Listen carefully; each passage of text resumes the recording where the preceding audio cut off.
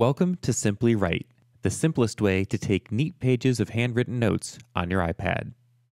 Simply Write shrinks large, comfortable handwriting into small, neat lines so that you can fill a page without needing to zoom in or out. Simply Write is focused on one function getting your notes on the digital page smoothly and simply.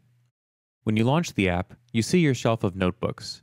To create a new one, tap the button at the bottom of the screen.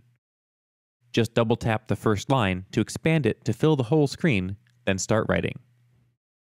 In this view, what you see is one line of handwriting divided up to fill the whole screen. To write a full line of text, continue on to the next row as you write. Once you get the hang of it, you can even split words across rows if you write all the way to the edge of the screen. The app will put them back together for you when you're done with the line.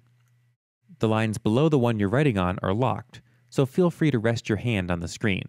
This makes the app ideal for use with a stylus. They'll unlock automatically, but if you want to unlock a line you've already written on, just tap the lock icon. When you get to the bottom of the screen, simply tap the New Line button to jump to the next line. The other buttons at the bottom are controls for undo, redo, erase, and a settings button to change line styles.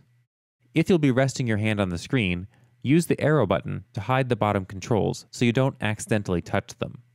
Back on the full page, you can use the controls to add a typed header to a line of your notes or insert the date on a line.